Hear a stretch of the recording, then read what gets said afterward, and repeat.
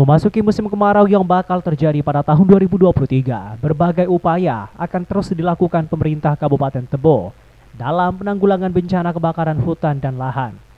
Data dari BPBD Kabupaten Tebo pada tahun 2022 yang lalu, ada enam kecamatan yang terbilang rawan karhutlah, yakni Kecamatan Tujuh Koto, Tujuh Koto Ilir, Tebo Ulu, Sumai, Tengah Ilir, dan Tebo Ilir.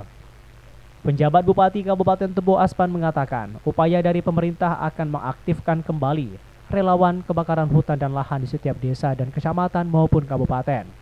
Tujuan relawan ini nantinya ikut membantu pemerintah dalam upaya pencegahan dan sosialisasi di tengah masyarakat dalam upaya pencegahan kebakaran hutan dan lahan.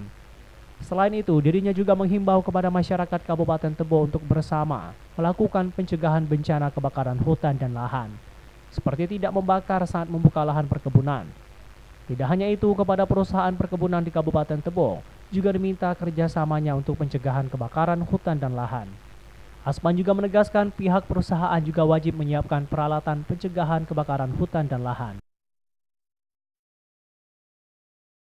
kita taruhlah kita untuk kembali diaktifkan dan beberapa duta-duta kita yang ada di desa duta-duta kebakaran yang ada di desa ini kita aktifkan kembali dan kita menghimbau kepada masyarakat dalam mengolah lahan jangan sampai ini dilakukan dengan pembakaran